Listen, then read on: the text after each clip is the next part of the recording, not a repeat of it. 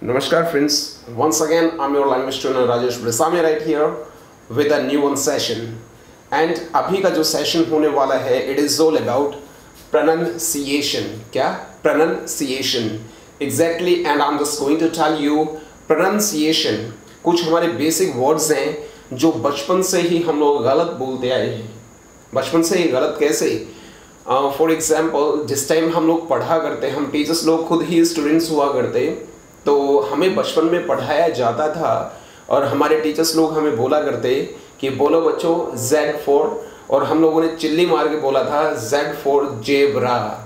लेकिन जैसे हम लोग बड़े हुए हैं और हमें खुद नॉलेज होनी शुरू हुई है और हमने चीज़ों को एक्सप्लोर करना शुरू किया तो हमें पता चला कि वो जेबरा नहीं था। इस शब्द को हम लोग जीब्रा बोलते हैं। जब पहली बार हम लोग खुद टीचर्स बने थे तो हम लोगों ने अपने स्टूडेंट्स को चुप करवाने के लिए बोला था अपने बच्चों को, बच्चों कीप क्वाइट लेकिन अचानक से माइंड में स्ट्राइक किया कि क्वाइट का मतलब Q U I T E होता है और चुप करवाने के लिए जो शब्द होता है वो क्वाइट होता है। तो हम लोगों ने गलत बोला बिकॉज़ हम लोगों ने गलत सुना। तो बचपन से ही वो वर्ड्स जो हम लोग गलत सुनते आए हैं आइए रुक करते हैं कि उनको सही कैसे बोलते हैं या उनका एग्जैक्ट प्रोनाउंसिएशन क्या है।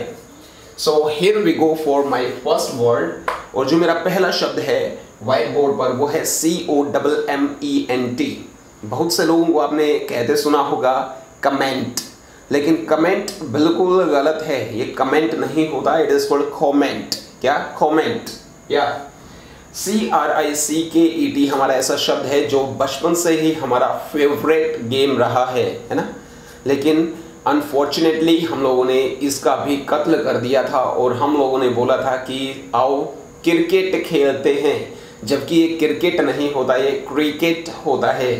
Cricket right A D O B E flash player होता है, हमारे सिस्टम में होता है लैपटॉप में होता है। और हम लोगों ने बचपन से ही सोचा कि ये एडोब फ्लैश प्लेयर है, क्योंकि हम लोगों ने कुछ ग्लोब या कुछ और भी वर्ड्स थे, उन्हीं के राइमिंग वर्ड्स हैं, और हमने इसको भी एडोब बोल दिया था। लेकिन ये एडोबी होता है। क्या? एडोबी जी हाँ। अगला शब्द है जो बड़ा ही फ्लुएंटली और बड़ा ही झन्नाटेदार हम लोग गलत बोलते हैं because B E N E F I C I A L को बड़े ही अच्छे तरीके से और बड़े ही खुश होकर हम लोगों ने बोला था बेनिफिशियल ये कोर्स आपके लिए बेनिफिशियल होगा, जबकि ये बेनिफिशियल नहीं बेनिफिशियल होता है। जी हाँ ऑल द सेम आर्टिफिशियल नहीं आर्टिफिशियल क्या? Artificial definitely A R C H I V E यानी कि कुछ चीज़ों को इकट्ठा करने के लिए हम हम लोग रख देते हैं कलेक्ट करते हैं कोई डॉक्यूमेंट्स वगैरह। तो इसको आर्चीव तो प्लीज़ भगवान के लिए मत बोलिए। ये बोला जाता है अकाइव क्या? अकाइव या definitely R E C O R D करना तो रिकॉर्ड करना होता है, लेकिन रिकॉर्ड करने के बाद जो बन जाता है, वो हमारा रिकॉर्ड होता है। क्या? रिकॉर्ड जी हाँ। B I C Y C L E बचपन से ही बड़े शौक से हम लोगों ने चलाई थी लेकिन ये बाइसाइकिल नहीं थी। ये थी bicycle.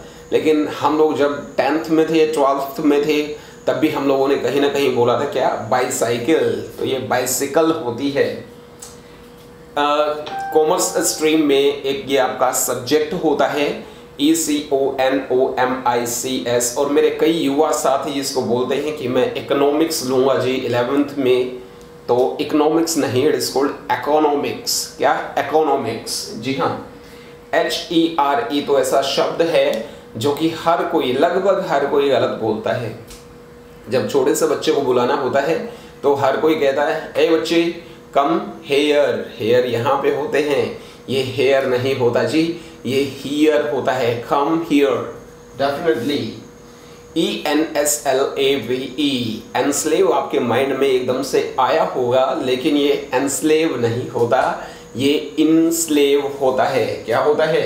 Enslave definitely A M O N G बहुत सारी जगह पर इसको अमोंग बोला जाता है लेकिन अमंग बिल्कुल सही रहेगा। तो इसको हम आज के बाद बोलेंगे अमंग जी हाँ।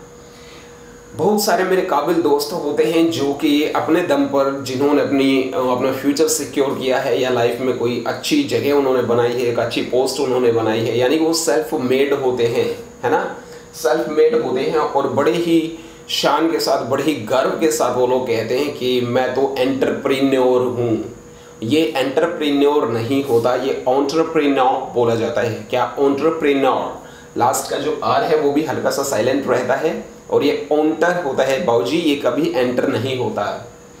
तो हमारे फौज में ये एक रैंक होता है C O L O N E L colonel नहीं होता, ये कर्नल होता है।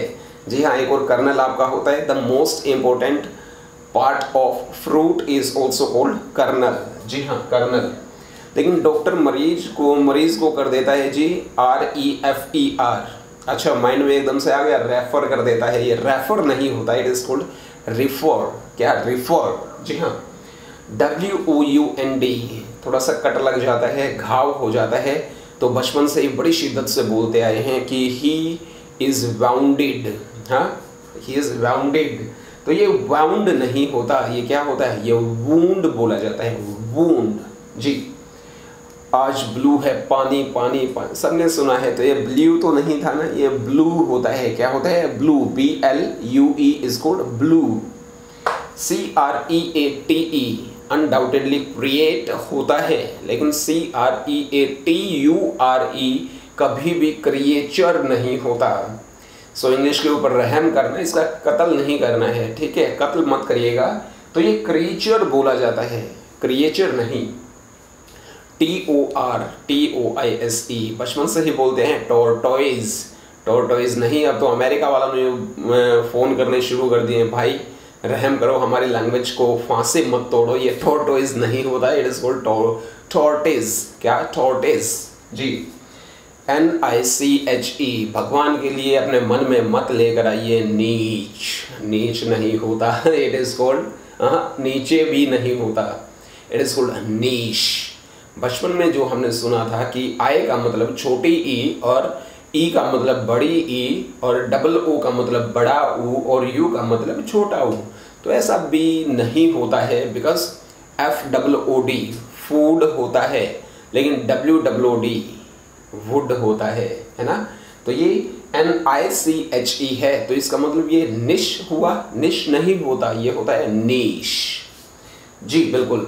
आपके व्हाइट बोर्ड पर नेक्स्ट वर्ड है ओ वी ई एन और बहुत सारे मेरे मित्र लोग बोलते हैं, इसको ओवन में गर्म कर लाओ। जैसे ओवन सुनता हूँ तो एकदम से कानों के पर्दे झन्ना उठते हैं। इट इज़ कॉल्ड अवन क्या अवन जी। ये डिक्शनरी बड़ी ही चलन में है इन है, यानी कि इन फ़ैशन है तो O X F O R D यानी कि इस तरीके से ना बोलिए कि इस यूनिवर्सिटी को ही शर्म आ जाए और आप इसको बोलते हो कि ऑक्सफोर्ड तो ये ऑक्सफोर्ड तो बिल्कुल नहीं होता इट इज़ कॉल्ड ऑक्सफर्ड क्या? ऑक्सफर्ड जी. स्पोकन इंग्लिश का आपने C O U R S E करना है, लेकिन ये कोर्स मत करिएगा इट इज़ कॉल्ड कॉस क्या? कॉस जी.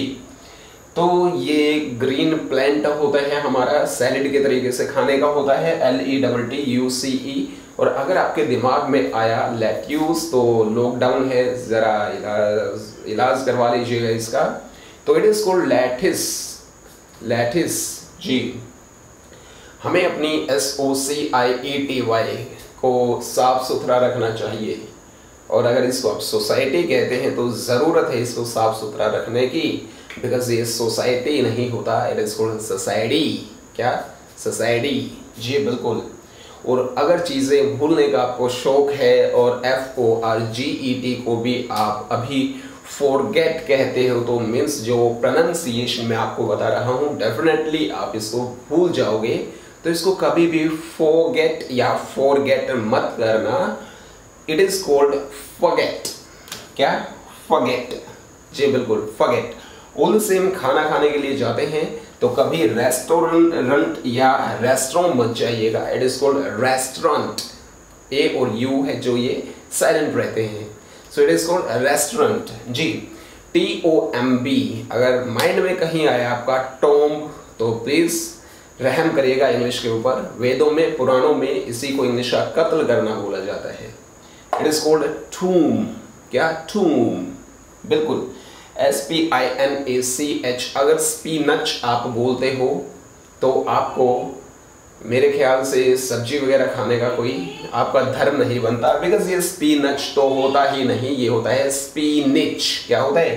स्पीनिच और S U double G E S T I O N को अगर आप किसी को देते हो तो सजेशन मत दीजिएगा। Because it is never called suggestion it is called suggestion क्या? Suggestion so once again I am your language trainer Rajesh Bolesa मैं राइट हियर एक बार मैं रिपीट कर देता हूँ इनको। Comment cricket Adobe beneficial artificial अकाइव record and ब्रैकर्ड bicycle economics here enslave among entrepreneur colonel refer wound blue creature tortoise niche oven Oxford, course, lattice, society, forget, restaurant, tomb, spinach and suggestion. Suggestion, definitely. So, Rajesh Visamiya talks पर आपका स्वागत है daily दोपहर दो बजे live session is there so I just want you to subscribe to this channel अगर अभी तक नहीं किया है and press the bell icon also So once again, I'm your language trainer Rajesh Risami right here. I'll be meeting you later on for the timing all the same. May luck smile on you. Have a nice time. Take care. Thank you. That's it for today's session. Take care. Thank you.